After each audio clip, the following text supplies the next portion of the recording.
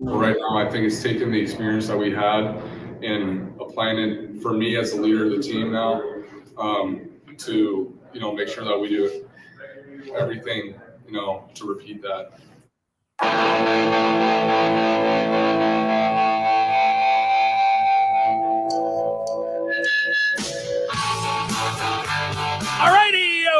Welcome in the last day of May. That was uh, Michigan quarterback Cade McNamara. Looking forward to the upcoming season and what he has to do. Welcome in. Glad you're with us here. If you're listening back or if you're watching live, we take your feedback. If you're on Clubhouse, anywhere else uh, that you're at, we're happy to be here. Maize and Blue Reviews.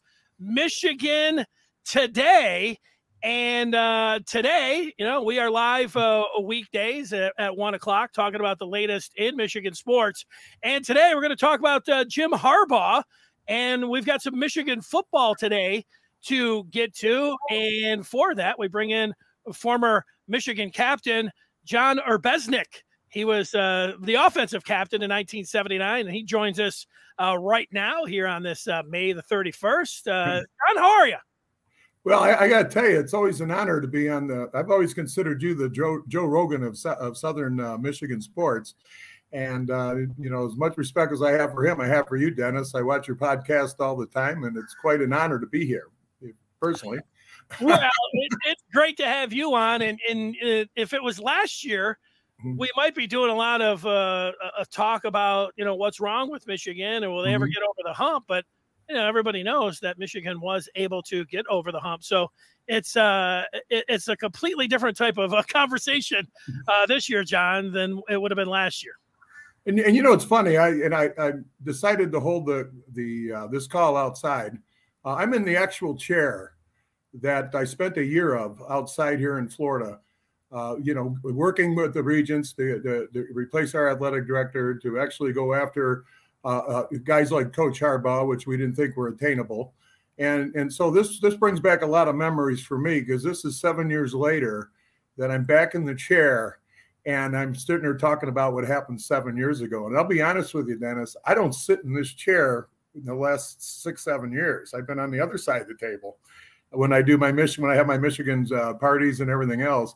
So this was a very huddled thing that that got us Warde Manuel and got us got us Jimmy Harbaugh to Michigan, and I think it's paid off major benefits since. Well, I can't wait to ask you about some of those uh, Michigan parties. Before we go, uh, stay right where you're at. Uh, we want to tell people about uh, our sponsor and support for Maize and Blue Review, brought to you by Manscaped, who is the best hmm. in men's below the waist grooming. Hmm. Their products are precision engineered tools. Join me and over 4 million men worldwide who trust Manscaped with this exclusive offer for you 20% off free worldwide shipping with the code TMBR at manscaped.com. I want to congratulate all the seniors out there, high school, college, and and what a great gift. Give them a little cash and then also give them the performance package, the ultimate men's hygiene mm-hmm. bundle from manscaped.com. You get 20% off free shipping with the code TMBR at manscaped.com. 20% off with free shipping at manscaped.com. Use the code TMBR. Unlock your confidence and always use the right tools for the job at manscaped.com. All right, John Arbeznik is our guest. He was the Michigan football captain in 79. And, and John, you – have uh, you keep tabs like you just talked about when yeah. Dave Brandon was the uh, athletic director. You guys, uh, you know, sometimes behind the scenes, but uh, then there's also times where you have to get out in front of things and uh, and, and, look to uh, create change. Uh, and you were able to do that to get Michigan to where they're at right now.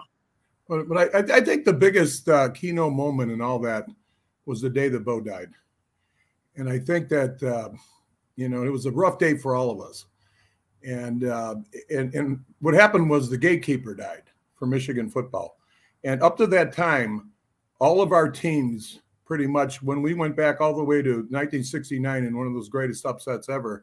You can go back before that too, and even with Bump Elliott and and and then you certainly go into uh, some of the greatest coaches in college football history, starting with Fielding Yost and Bennie Oosterbaan and Fritz Crisler, and and you started realizing this place had quite the tradition. And the day Bo died, it was kind of like that Don McLean song, "The Day the Music Died." because Michigan was unattentive anymore. They forgot their past. They forgot the fact that we expect to win, guys. And and everybody that played in my class and all the way till the day Bo died felt the same way. And when that happened, that was that little decade we went through that a lot of us got back together and said, we're going to fix this. And, and that, that was something that people were starting to accept defeat. And, and that's, that, that's the worst sign of a program in need is when you gave up your traditions. And you look at Nebraska, they're struggling. Uh, you know, there's a lot of schools right now that where where I think our guys righted the ship, and I think that the evidence is overwhelming right now that we did the right move. But it was going nowhere. I mean, as much as I liked Rich Rodriguez and as much as I like Brady Hoke, those aren't head coaches at Michigan. Just saying. Yeah, and John, I thought that Jim Harbaugh, it seemed to be a grand slam hire. You know, he comes in for mm-hmm. what he was doing in the pros, and you know, before that at Stanford and San Diego, and then you know, you, you knew it was good. You you'd liked it to happen in, in one year, but you know, one year, two years, and even though there were, there there was progress, it was always you know getting over that hump against Ohio State at the end of the year. So then three years turns into four. You know, they they almost have a shot in 2016. You know, they're they're that close, but hey, you take you all the way up to the to the pandemic. They didn't play, and and people were, you know, I don't know, laughing at it. Certainly, Ohio State was, but uh, then you get in, and do you? What do you think it was? I mean, was there? I always thought it was going to be the quarterback. It was going to be one quarterback. We heard Cade McNamara, but. Mm-hmm. It wasn't Cade McNamara. You know, he was part of it, and you know, all credit goes to him. Uh, he was the leader. He was the you know the signal caller that took the most snaps and everything. But uh, narrow down some turning points from what you saw uh, with Jim Harbaugh and how he was able to, uh, you know, finally get Michigan over the hump against Ohio State, get them to Indianapolis, and obviously uh, win the Big Ten, and then you know go to the college football playoff. Well, you know, this is going to take a little time, so I'm glad I got a little time. Uh, it's going to start, and it's going to start in this chair I'm in, like I mentioned to you earlier. A lot of people that have come to my place here, this chair is kind of sacred because this was the chair when Dave Brandon was walking into film sessions with head coaches that when uh, this is where it all began and and uh, and we were just getting more and more frustrated and and even some of the old players uh, you know we we'd already had the way they treated Rich Rodriguez because we thought Rich had some great great offensive uh, abilities and needed you know some help on a defensive coach but when the, the athletic director is in your film room all the time and writing his own plays and calling his own plays that's where guys like me stepped in and and we were to that point and this was all profiled in John Bacon's book End Zone. We were basically silent. And hell, I was living out in Colorado, and I wasn't getting that involved in Michigan football. But when I'd call back to Ann Arbor, these guys were just living. So what we did was uh, we started getting together, and then we we started to realize that we had to do a writing letter campaign to the Board of Regents because we felt that, and, and as it was on, I was on that ESPN show, as you found out, uh, the radio, which I think you probably owned the station at the time. I'm not sure, Dennis, but we did that question where I called for Brandon's job, and and I explained why. And I did, the, but the bottom line was is, is the fact that uh, you know Michigan man, uh, uh first of all, you know believes in the sanctity of the head coach, and and the head coach. You hire a head coach, he has to have his right to do what he wants. He didn't need to be like sitting there looking over his shoulder all the time, especially to Dave. And no offense to Dave, but I don't think Dave played three plays in Michigan. And then yet, no, he's he's an athletic director then. And then he's he's trying to do what Don Canham never did, like like Bill Martin never did, like no athletic director, Fritz Crisler or Fielding Yost for that honor, never did. And then he started to make it almost like a Hollywood sideshow. So what we did, we petitioned the Board of Regents. And one thing I can tell you about the University of Michigan is that in the region pool, there's eight of them. And if you get five of their votes, you can do whatever you want. And we went after them. And we've got five of their votes. And actually, I think we had more than that. And at the end, we were able to have our athletic director resign, which opened up a door, you know, for, for a, a fellow that can come in and look at a real Michigan coach. And that's all profiled in Johnny Bacon's book, End Zone, years ago. And then we found out we had the opportunity for Jim. And the reason I found that out, and and this is a true story, uh, uh, Shemy Schembechler, both sons, a scout uh, for the Raiders right now, but he had scouted, I believe, at the Washington Redskins with Trent Baalke, who was the GM at the 49ers. And it will be known to us, they had had lunch that day. And and this is probably going to go in the news tonight. It's fact. This is a true story. And I'll bet Jim Harbaugh doesn't know this story. But what happened was uh, Baalke was in Columbus, Ohio, uh, because he was he does offensive line, you know, probably at Ohio State, uh, looking at their offensive lineman. And Shemy lives in Columbus, so they were together. So Shemy called me that night and said, you know, if, if, if Jim wants the Michigan job, he'll release him. So then we had that little feather in our cap.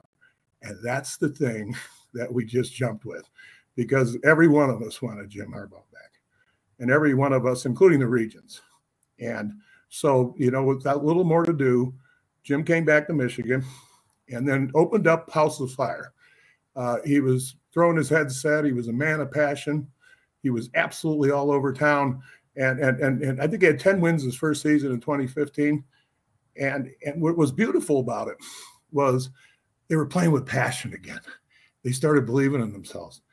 And that went on. And that went on, you know, for the first two years until I think the day that Ohio State and that anybody saw that first down knows we beat Ohio State in 2016.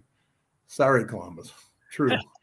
Hey, hey, you want to take some questions? I see some people have some questions for you, and uh, you know, we get, like I said, we, you know, we've got all the time in the world, which is a great thing about podcasts. Jason jumps in first, and he says, uh, "Afternoon, Mister Arbeznik, looking good, sir. I coached your quarterback, Rich Hewlett's youngest son, Joe, at Northville High School. Joe played for U of M as well. Mm-hmm. Go blue," he says. Well, Richie Hewlett uh, was one of my favorite players ever in Michigan because he was a backup. And when it, it's funny, because my captaincy year, uh, my last game in, in, Michigan Stadium was against Ohio State. And it's when you're captain, it's your last game. And it's the last time you're ever going to be in there uh, playing for anything. And so when I went to bed, or, or Bo, Bo comes in and, you know, and he says, good night to you and everything. And then I get a knock on the door. It's Jerry Hanlon. And Jerry Hanlon says, uh, well, what are you going to do about uh, about the freshmen starting tomorrow? I go, what freshman? That's Rich Hewlett's first start. Rich Hewlett, I think we went on a long play, first play of the game, went for like 19 yards. We were pulling on a, he was he was running an option. I think he took it right down to the nine yard line too, Coach uh, Coach Joe at Northville, or um, I guess the son, his son's Joe, and then he tore his ankle. But Rich was, uh, we never know how well he'd done in that game, but I think he had like 30 yards rushing. You can look it up. And, but I had no idea Rich Hewlett was going to start the game. We had John Wangler and BJ Dickey on that team. And that was an interesting call by Bo Schembechler to start Rich Hewlett.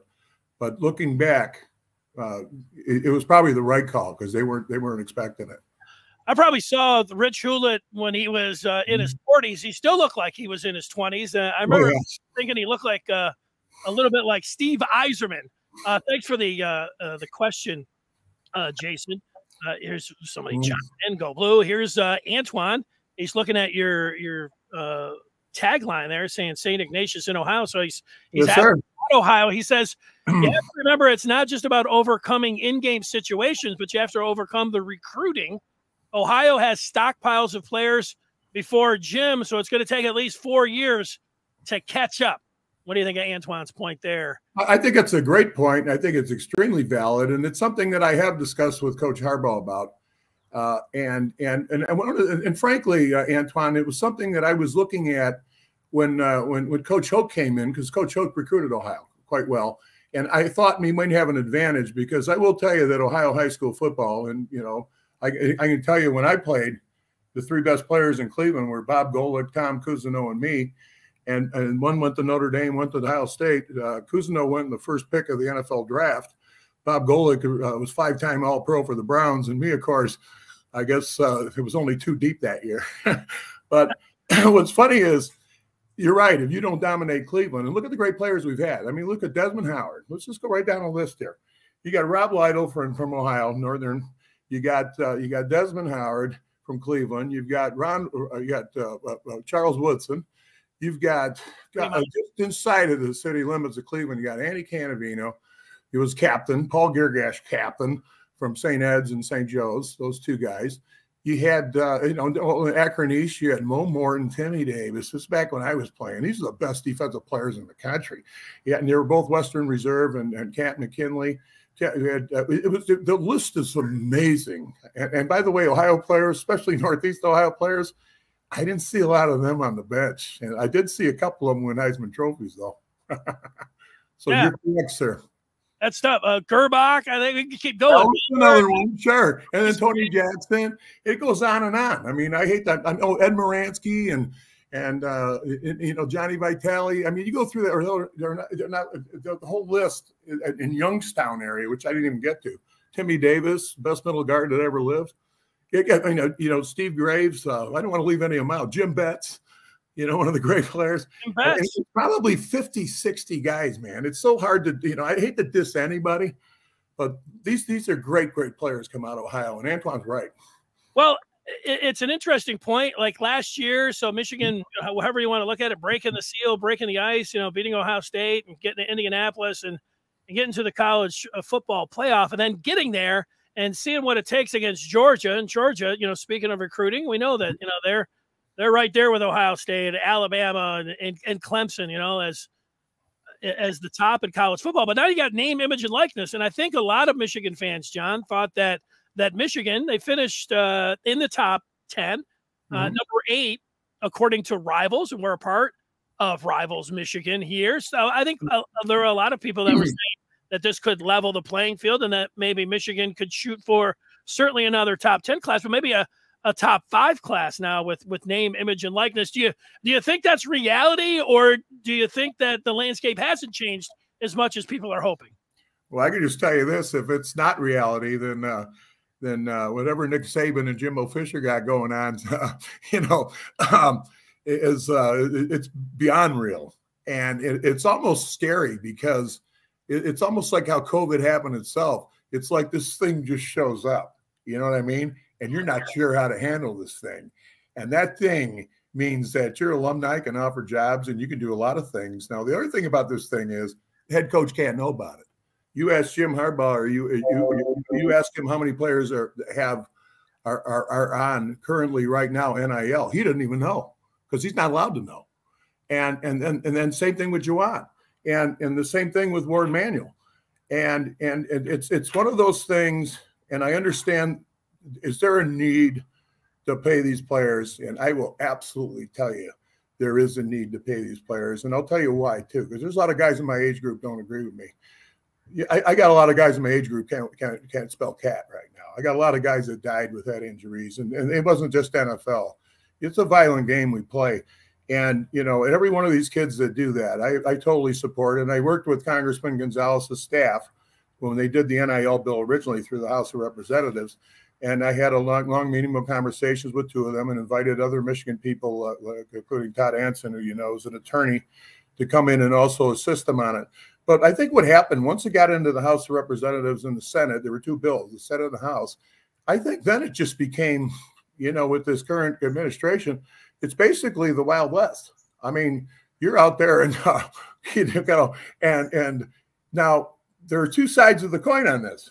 Okay. Okay, you could say, oh, they're paying all these players and it's going to happen here. But you know what? I've had scouts tell me, and they're going to be nameless here, but I've had five NFL scouts couple a couple of coaches, major coaches in the NFL, say that it's a good thing. And you want to know why? They want to see how these kids act with money before they put their money up. And I never even thought of that. So look at it. Do these kids deserve it? Yeah. Are they going to become what, what? What do you do when you get money? Do you become a team guy, or do you become a, a you know, or, or you just become a me guy? And and that's where, you know, I'm. I it, it's real. What's it's, regulated, it's real. Listening to you about that, I, I, there was a story just this week where mm-hmm. J.J. McCarthy, I guess we call him the backup quarterback. I mean, he's the backup quarterback to Cade McNamara. Mm-hmm. You know, McNamara's got his own name, image, and likeness deals, and he's working with. Uh, he's got to deal with Tom Brady, but it, it was Dunkin' Donuts uh, for McCarthy. But these two guys, uh, I thought that they were going to battle it out in the spring with a, with a shoulder setback uh, for McCarthy that could have been a blessing in disguise. Let me fast forward you right up to yeah. now, John. Uh, how do you think Jim Harbaugh and Matt Weiss, who's uh, was the quarterback's coach, now the offensive coordinator, is going to be the first time that he's calling plays. How do you think they decide on how to divvy up those snaps and and how do you th- what do you think their conversations are when they talk about the entire season with these two quarterbacks? Well, first of all, you got a great rookie in there too. You're not talking about that. Uh, you know, it's probably looking for some playing time.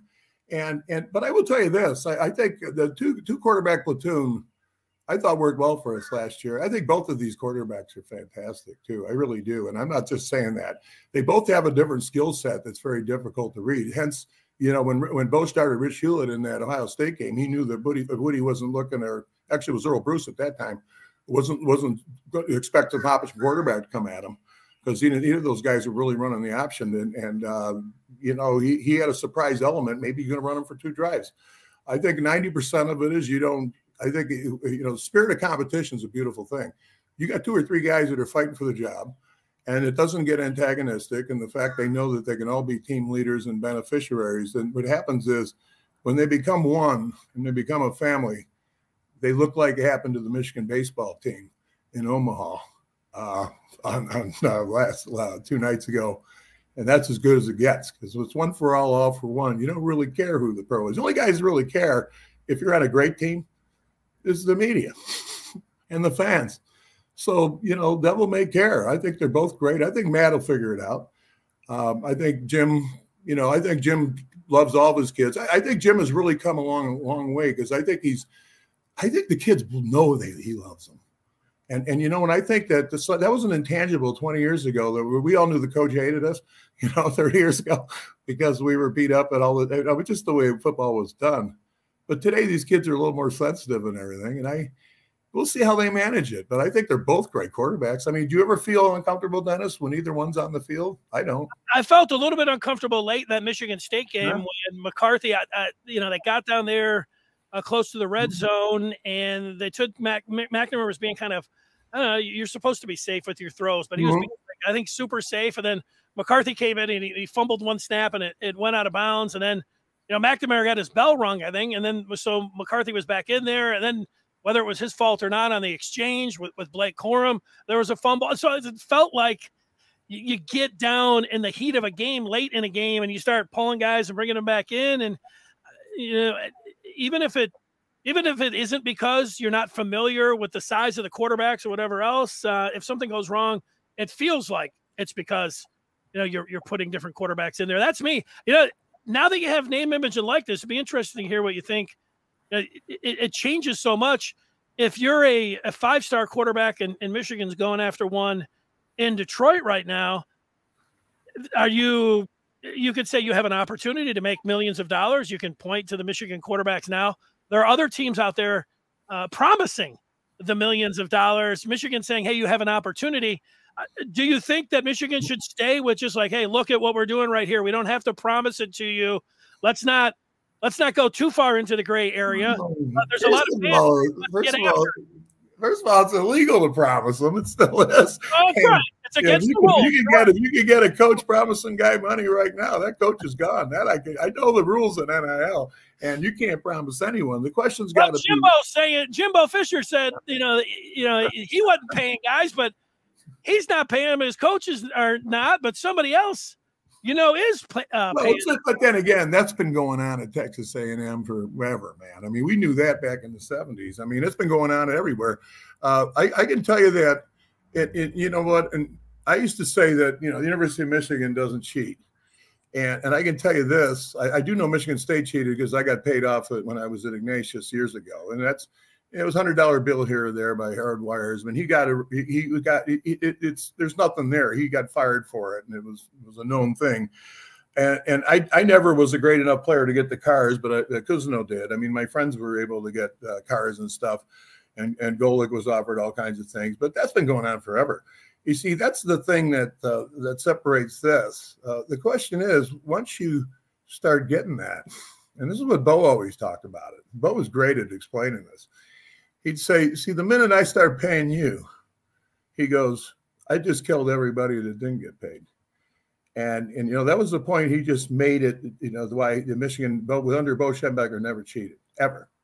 And the fact is, these schools that are doing this aren't winning. They're not winning because the, I, this guy, another guy has a better game than the guy getting paid. And the next thing he's upset talking to his teammates. Now you got a cancer on the team. I think what NIL really was supposed to be intended for, if you're going to use my pictures, you're going to use my jersey, and you're going to sell something with it, then I should get a percentage of everything sold. That's the spirit of the NIL bill. It had to do with well, these companies are using you anyway. Okay. Now, but the problem is though, what I think what Saban's saying is is that these other guys are like going into car dealers and stuff and trying to do that. And I know that's highly illegal in NIL and in, in, in, spirit, but there's no, but since there is no uh, Bill of Rights or uh, for that matter, you know, any type of structure to the NIL bill, other than the fact that they get paid for any time you use their name, image, and likeness, it's it's it's the Wild West, like I said. Yeah, they might have to get some collective bargaining going in that. Let me uh, let me ask you about this upcoming season. I'll put the aha, my favorite year. Well, I put the, the the schedule up on the screen, and I want you well, to. I got it. I got it here too. You know, I want you to stop me when you think that the Michigan's going to have a problem here. They've got, you know, they start out with Colorado State. That's going to be a noon game. I know today marks the 100 day mm-hmm. mark until the NFL season. I think mm-hmm. last week was the 100 day for the kickoff of the college football season. There's Hawaii. It's a night game. That's going to be, I don't know who's going to be, Cousineau and Gola going to be sitting in that chair. You, you better get some coffee on. Well, yeah, you know, actually, they do sit. But Tom does sit in his chair these days, and uh, except you know, except for Ohio State, he won't because he thinks it's got sparks in it.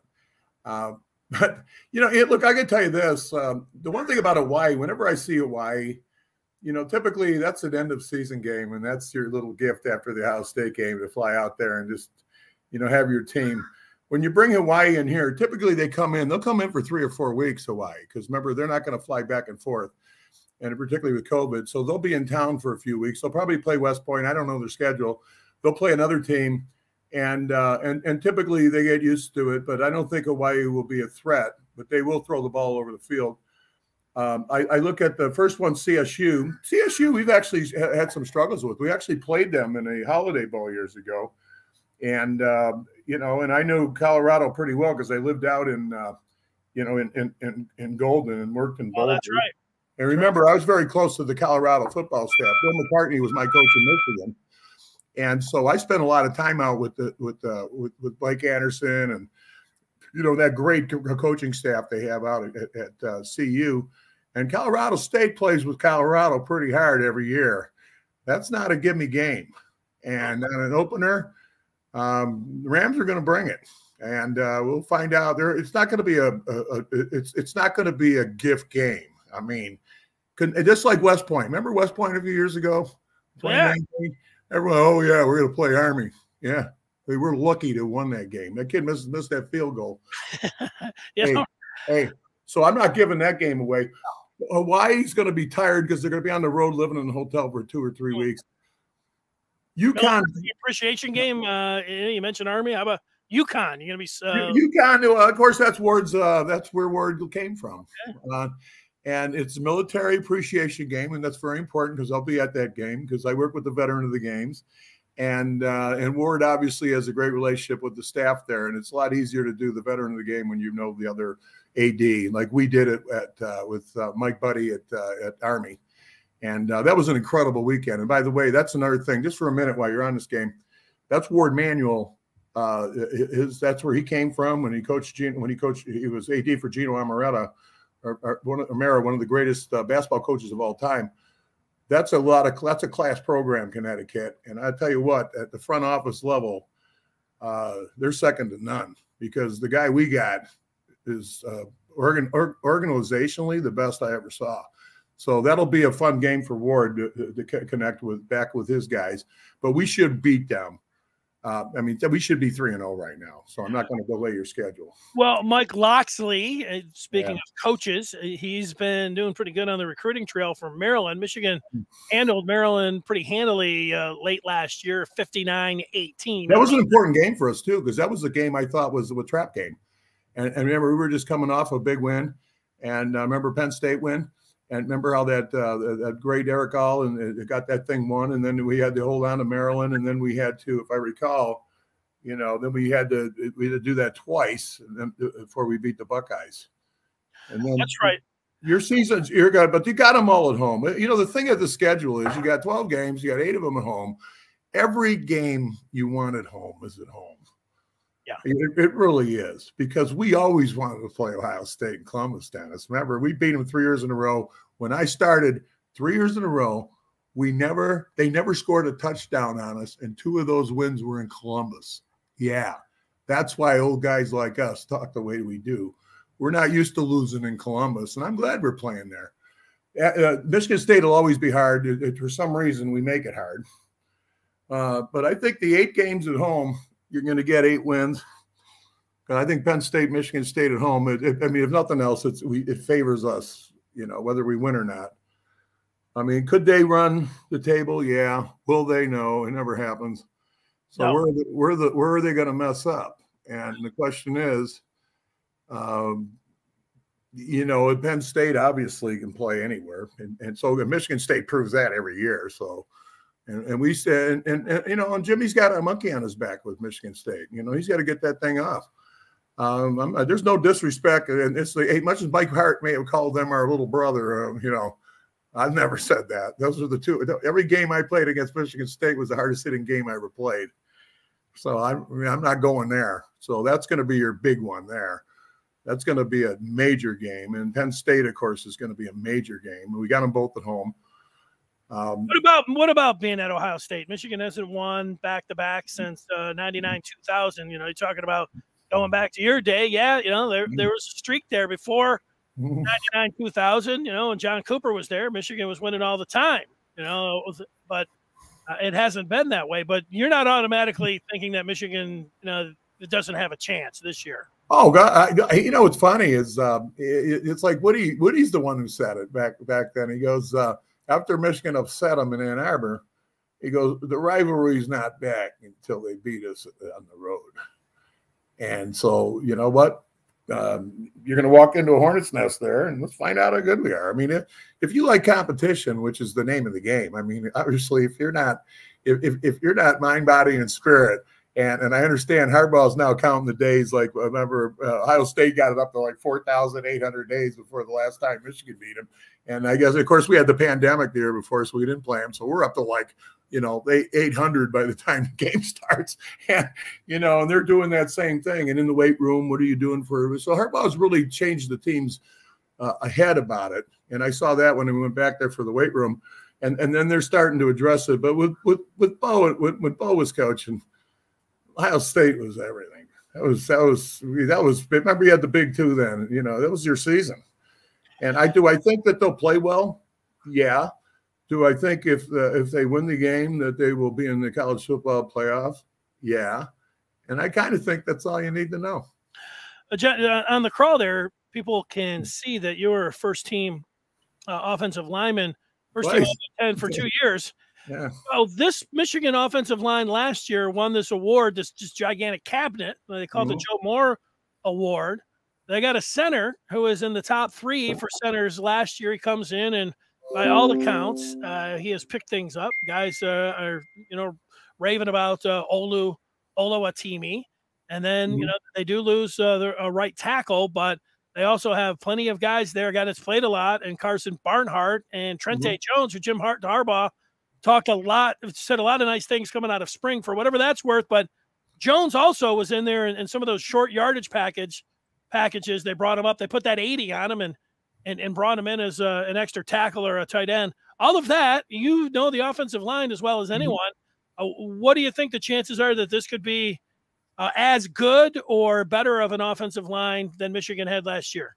Well, what happened, and, and, let me give you the genealogy of Michigan's offensive line because it, it, it got impacted heavily uh, when when when uh, when we were able to get Ed Warinner away from uh, Minnesota and that was Eddie We came in there and Eddie Eddie took over that offensive line and Ed's got I believe 48 NFL players right now.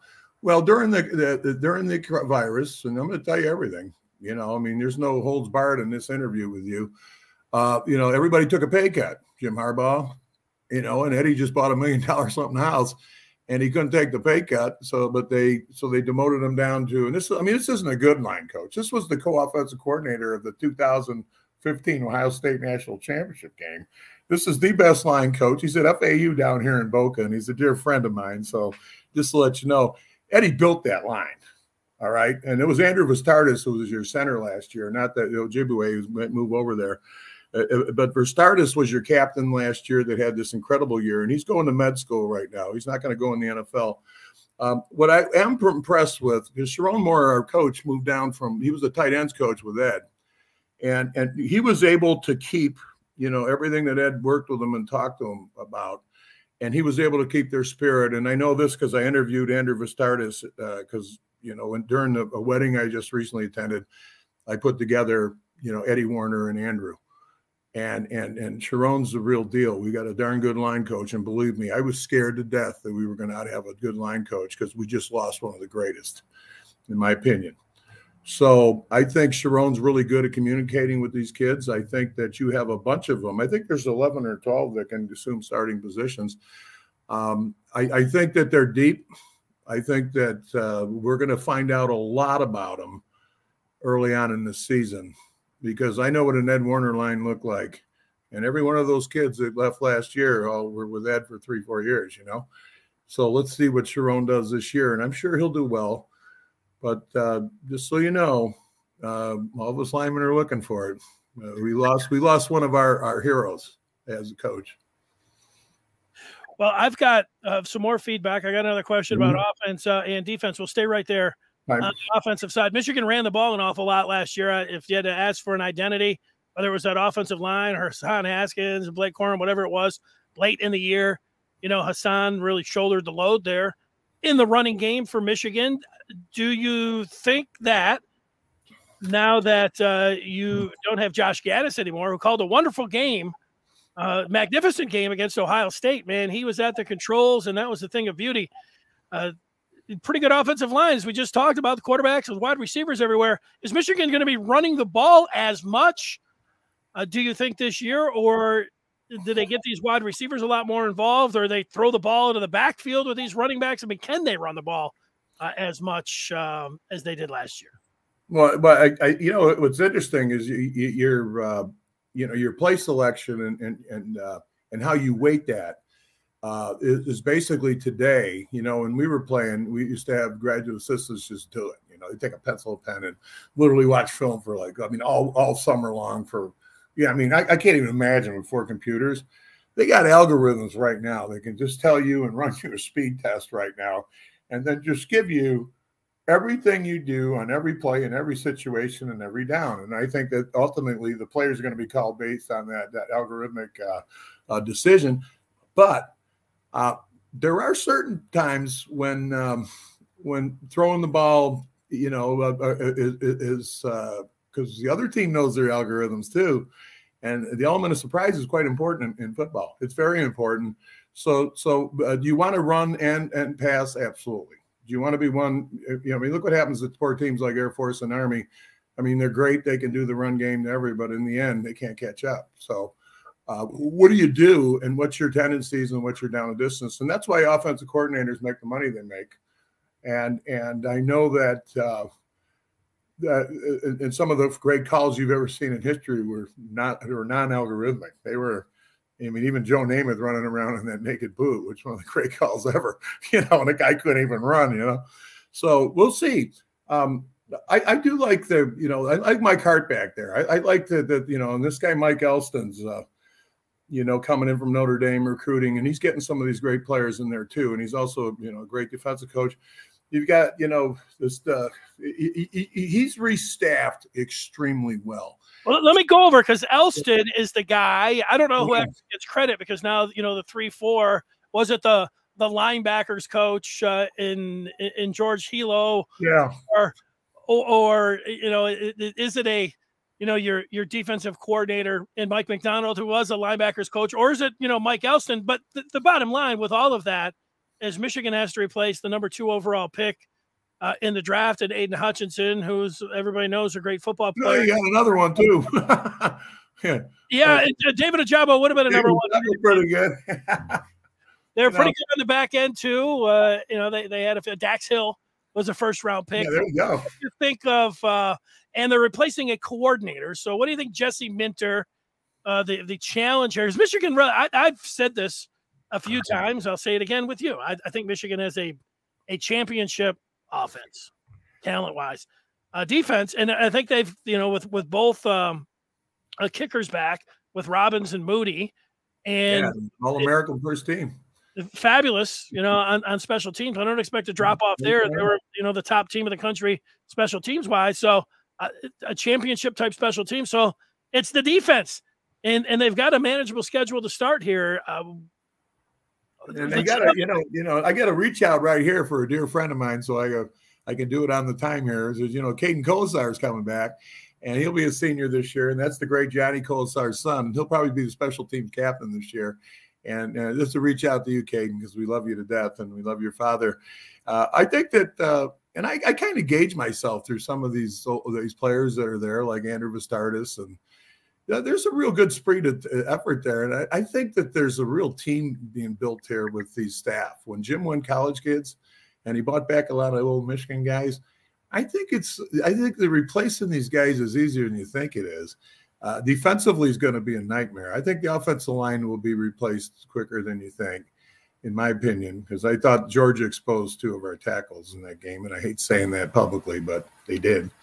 Um, and I think that uh, defensively, there's a lot of young talent in there that's good, and I I, I, know that the fact we got the first month, for, first month we don't have really we, we don't have a tough schedule to start, which is a good thing.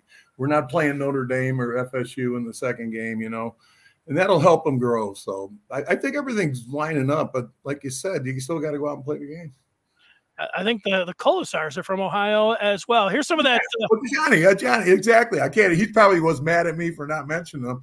And by the way, he's he's I don't know if he's a, you know, Anthony Carter played with me, but it would be hard. And, and you can look at all the great receivers in Michigan history, and it would be really hard to place him higher than third. And, and, and that's something for all you fans out there because he was the killer. Look how many times he beat Ohio State and Notre Dame on the biggest plays of the game. I mean, Kolesar is a very special kid, and his son is amazing.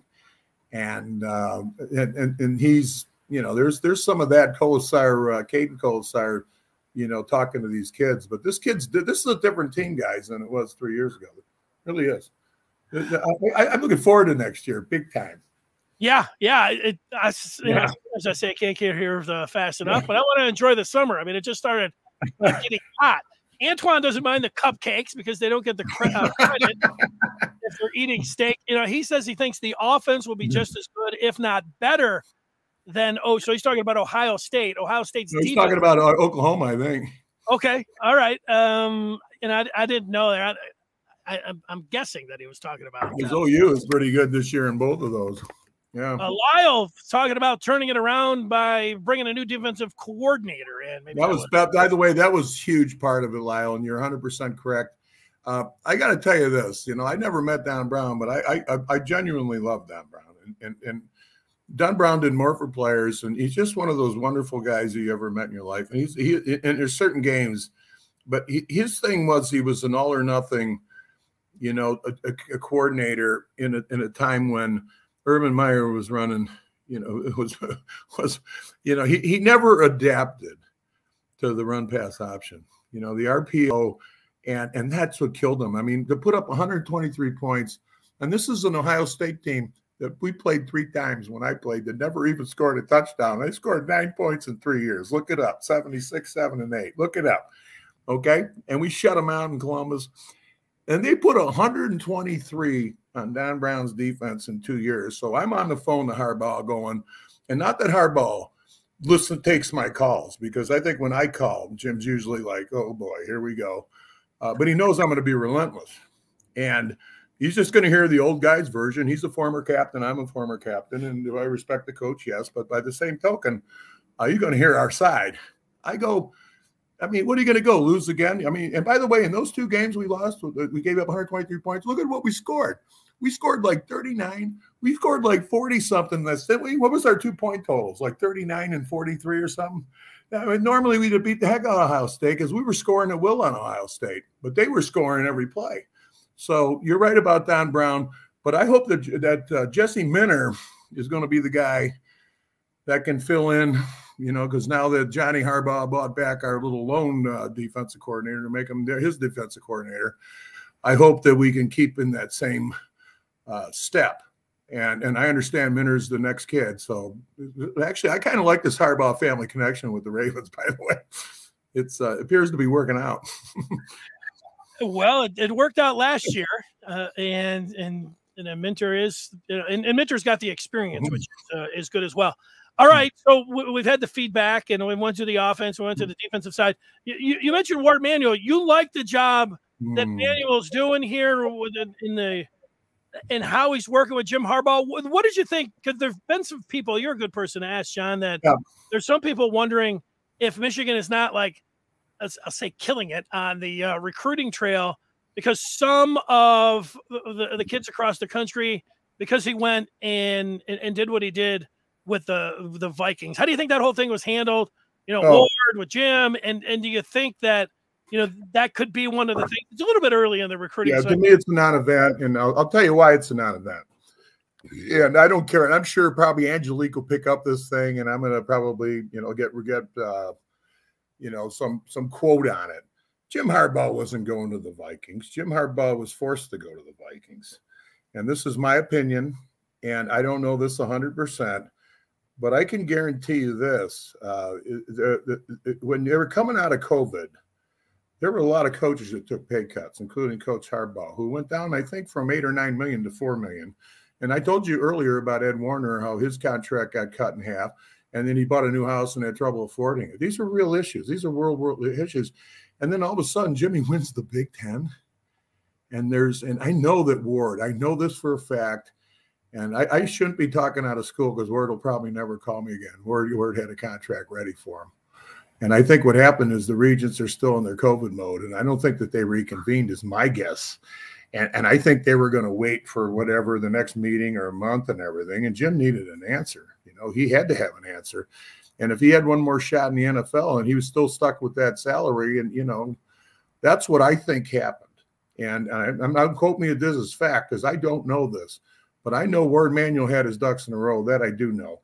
And I just think it had to be a time and place when uh, you know the you know the urgency of the matter wasn't uh, focused on on the region urgency of the matter. And and I think there's part of that's that. And I think the other part is Jim wanted to see what they'd offer him in the NFL. And I don't blame Jim Harbaugh one bit. I told everybody the time he did it. And matter of fact, I texted him too. Um, I mean, I've got, you know, he won his Big Ten, man. Let me tell you something. A lot of monkeys came off our backs that day. No that's my gut feeling, my opinion. I think that was an exercise in a little bit of futility, but but at the end, it all got figured out. And I, I believe, in, and I don't know this for a fact, but this is what I heard inside that that deal. Jim never went into the meeting. I think I think word got to him the night before, but I can't guarantee I know that, but I think it happened.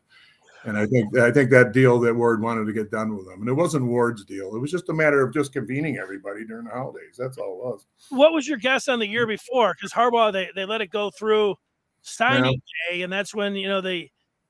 Do you think that he was hoping that he was going to get an NFL team that was interested in him, so at least they could leverage it? Or how did you think? You know, because that thing played out. You know what? You're getting a lot of honest thought out of me right now, and I I can tell you this: a year before, uh, and I can tell you I'm the biggest Jim Harbaugh fan in the world today, and I was from day one. But uh, the COVID year really got me upset, and and, and I'll tell you what got me upset more than that was in 2017 or 18 when we played uh, South Carolina, and then Amazon Prime put it on. Uh, it, it, was on Amazon Prime, and I'm a subscriber to Prime, so I actually tried to stay up and binge watch it the whole thing, the whole game, the whole season. All or got, nothing. That's right. Yeah, all or nothing. And they got to the South Carolina game. We had a 19 3 lead. And I'm just going to be as honest as I can be with you, and whatever it is. But just like I want you all to know, by the way, I fully apologize to Coach Harbaugh after what I'm about to tell you. And, and we're getting along fine now. But I, I did saw he, he, he was different, you know, because when they he had his brother and his, his father in there giving the greatest pregame speeches I ever heard in my life the night before. The team was ready, goes up 19 3, and it's like he wasn't throwing headsets anymore you know, like like he did when he first got here. There was something missing. And you know, when I talked about an old player in the NFL, now think about this for a minute. Jim Harbaugh played played uh, uh, uh, uh, five years for Bo, played four for Mike Ditka. Now in dog years, that's 27 because those guys are getting hit. You know, I'm going to tell you right now, there's no NFL NFL coaches get hit in Chicago, and Bo Schembechler uh, uh, quarterbacks. I mean, quarterbacks get hit. So that's like 27 years. Then he played another 11. So I, am thinking head injury because half of my teammates got head injuries. I mean, the hardest part, Dennis, is when you get older. That's why I like the NIL. A lot of our guys are just, I mean, it's sad, man. When I'm 65, I'm going on Medicare tomorrow morning. I'm just telling you, man. And it's like, and I thought Jimmy may have had a head injury. And I spoke out of school and uh, I kind of did a few other things that was trying to influence his career. And and uh, and I fully apologize for both because I'll tell you one thing: that Big Ten last year moved mountains from all of us. Jim Harbaugh started throwing headsets. He became the same guy. Maybe he forgot about how to do it, or maybe he got he got loved to sleep. But when Jim Harbaugh won it, I knew. And the only time I texted him after, you know, my calling for his job in February, and I texted him after the Michigan State game, his loss. And I've never been prouder of a team. I texted him. I've never been prouder of a Michigan team than the one that fought today. And that just went on. He that's Jim Harbaugh. And he also proved he doesn't have a head injury.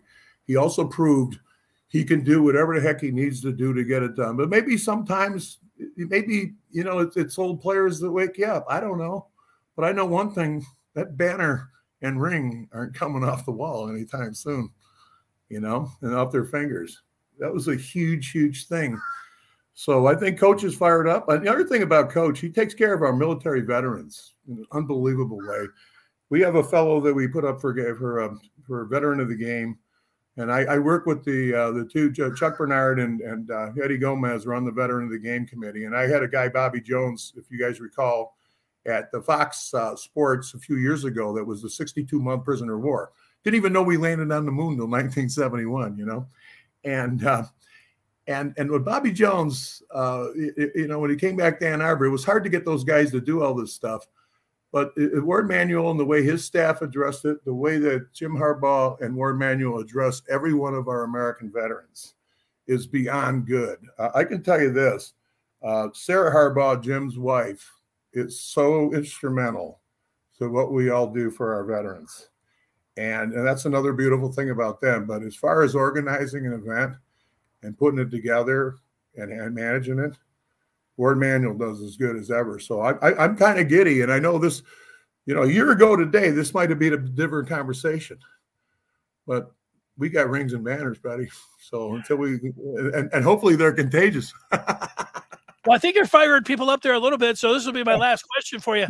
Tell me what it was like. Uh, where you know the who was in the big chair? When you get poolside there, for the, either yeah, the, pool behind us. or the, uh, the Big Ten champion. Back there. Oh, there's the and, pool back there. So what kind of party? Yeah. You just like you watch the game by yourself, or is a couple close? Oh, no, no, no, no, no, no, no. This is uh, this is this, this has been crazy because we came down here I think about nine ten years ago, and then uh, and for some reason, you know, we moved from Colorado, and I got involved in the stuff through John Gindia and, and Yale Van Dyne and and all the guys and Billy Dufek and and everybody had a problem. Everybody, you know, it was like Bo said, misery loves company. Well, we were all miserable because we were losing, and, and, we were losing for a long time too.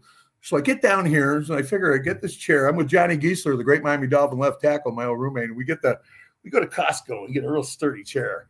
And I'm in Florida, so you know, January, Februarys are nice because it's nice and cool out here, and it's perfect. And then I started getting on this. You know, I haven't done this for years I mean, since I was playing, and then I started being a protagonist and an antagonist, and I started looking at what's right and what's wrong. And I had way too much time in my hands, Dennis.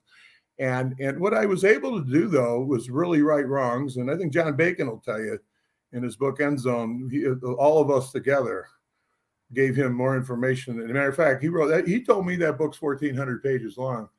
And he also told me that he can only publish 440 of it because uh, you know, because I think, you know, uh, there's a lot of stories in there, man, and I'm telling you are true, but you, you just had to be there. And there's there's a lot of stuff that was going on in Ann Arbor that is no, not going on any longer now that Warde's in charge. And and and by the way, but and let's reach out to the baseball team right now. By the way, where we're at it, and you know, let's see in the hockey team. You know, let's reach out to some of these great. It, it, look at Warde about to win the Directors Cup. So why don't you at the end of this call fill me up on that? because you know we're in the baseball. We had to get into that baseball playoffs for Warde to get a chance, and we're in it. So what you were telling me you were keeping tabs of that. Yeah, the the Directors Cup. It, uh, it, it, didn't look very good, but I also didn't think that Michigan was going to beat the first, second, third, we fourth. were seven ahead two weeks ago. Well, uh, it, it's amazing. It, speaks to uh, you've seen a lot, I'm sure, and you probably know yourself. Just in the last calendar year, how many uh, Big Ten championships you go down the line there, and, and, and all the teams and the success that they've had. Uh, uh, they're doing great, and the, and baseball really came out of nowhere. Nobody was expecting that. Nobody, nobody was thinking that they were going to. But you know, you, you catch fire in these. I don't think it's over. you, you, still think they got something going? Oh, huh? just like they did in 2019. You talk about fun. Hey, hey, when, when we were messed up in 2013 before Harbaugh, what's the one thing that made us sane in Ann Arbor?